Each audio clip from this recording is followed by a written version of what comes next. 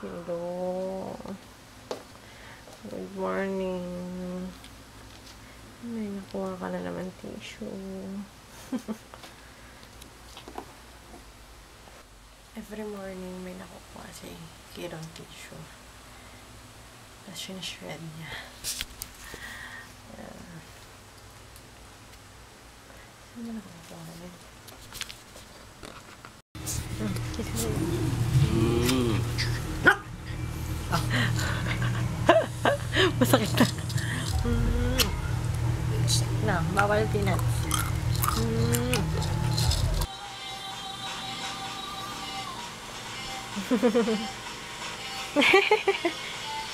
Bakit di siya nag-react kay Eddie? KCC. Violent show. Oh, ayaw. Ayaw niya. We're going to Antipolo. Si Ryan's mom. LRT kami.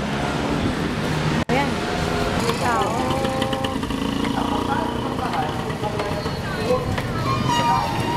Sandwich guy. Potatoes na chili con carne. Ang daming cheese.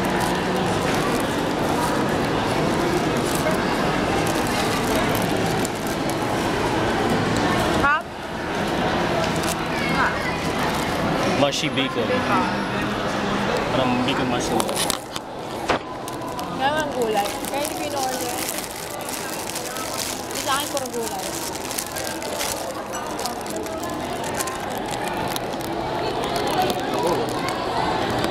Maamoy niya yan. Bagong ticket. Crab stick and mango. Ito masarap. Making my smoothie. Puro banana, apple, tapos peanut Tapos milk. Good morning! Late na ako lang katulog kagabi. Hindi ako makatulog. Tapos, yan. Medyo late ako nagising. Ako nang nagising si Ryan sa akin. Tapos, ang nalamit. Breakfast ko cereals, fitness, tapos Harvey Fresh lactose free milk. Kasi I'm lactose intolerant. So, every time na minom ako ng gatas, dapat nasa bahay lang ako kung hindi siya lactose free. Tapos he made juice for me. Ano ka lang sa ref. Mukhang pure orange juice to. So, kagabi, nung hindi ako makatulog, nag-start akong i-plan yung filming schedule ko. So, kasi sobrang high-wired pa yung utak ko last night. Mga to, 3 o'clock na ako nakatulog. Pero, ayan. So, nag-print na ako ng ano, ng calendar of activities ko. Tapos yung schedule. Kasi, ayun, para, dapat sundin ko talaga. Or else, pamahirapan ako in the coming weeks. Ayun. Tsaka, I plan on just doing what I plan to do is to film Monday, Wednesday, and Friday. Tapos edit Tuesday and Thursday. Tapos Saturday. Tapos Sunday. Day off ko yun. so, yeah.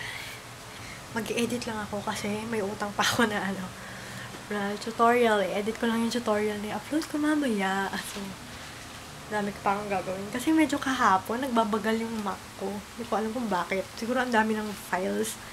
Kaya medyo nahihirapan na yung editor ko. Ayun. Sige, mag-edit muna ako. And then, I'll be back. I'm taking a break from filming muna. Tapos, um, nakakook lunch. So, lutuin ko muna laing. Laing. Tapos, yun yung kakainin namin for dinner. And then, for my lunch, ako lang kasi yung kakain magigisa lang ako ng sitaw with pork. So, ito muna yung gagawin ko. Yung laing muna. Para maluto ko na yung laing. Kaba kasi mapanis yung gata. Tsaka mas masarap yung laing pag hindi mo siya kinain agad. Like, ipa-soak, parang ipa-develop mo muna yung flavors. Siguro after 24 hours. So, kaya ngayon ko siya lulutuin. My mom told me na unahin yung yung pangalawang gata before I place yung ka, yung first na, yung pure na gata. Kasi i-absorb lang daw nung ano eh, i-absorb lang daw ng ng taro leaves. Ang dahon ng grabe. So, ayan. Papa-absorb ko muna bago ko ilagay yung pure na gata. Okay. Sige. First time ko pala ito magluluto ng laing. So, sana okay naman. Hindi ako nakabili ng labahita. Yun daw yung masarap. Yung dried na labahita. Yun daw yung masarap sa laing. So, yan. Ito na yung laing. Exciting.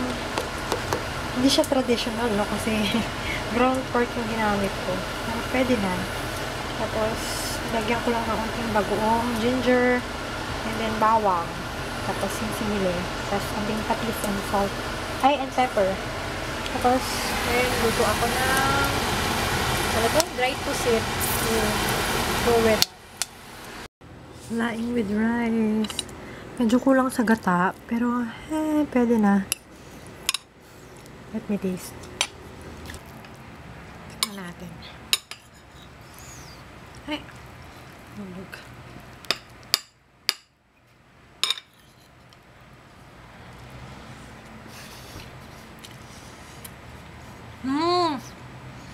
Pwede na.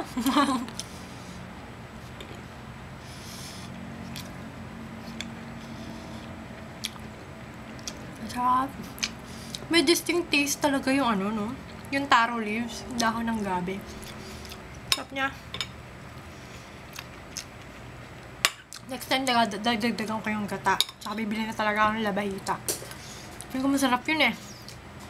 Kasi ito, wala masyado yung. Alam mo yun, yung parang lasang dagat. Wala siyang lasang dagat.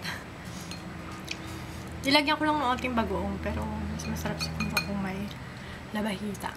Tapos, I'm just eating dried puset. Mm. Crunchy. Mm, happy lunch. I made Gravana juice. Yummy! Tapos tapusin ko na lang yung editing. Upload! Ngayay nila, no?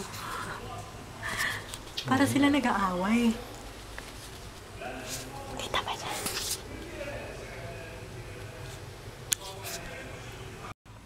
Pati si Kilo naka-show sana.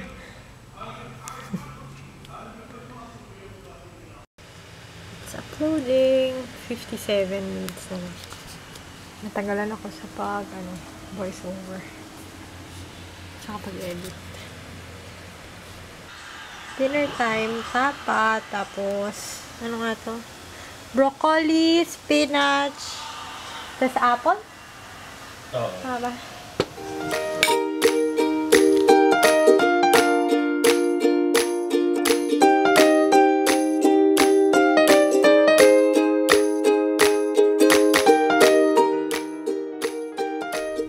Something romantic. Something feminine. There's something enchanting about pink. Whether wearing it on a dress, on your lips, or on your eyes will definitely